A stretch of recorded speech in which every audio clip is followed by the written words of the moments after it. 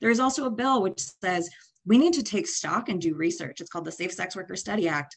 It literally just says we should survey the land of what happened after sex workers lost access to understand the impact that it had on violence, on exploitation, on trafficking. And not a single person who has co sponsored the Earn It Act is co sponsoring that bill.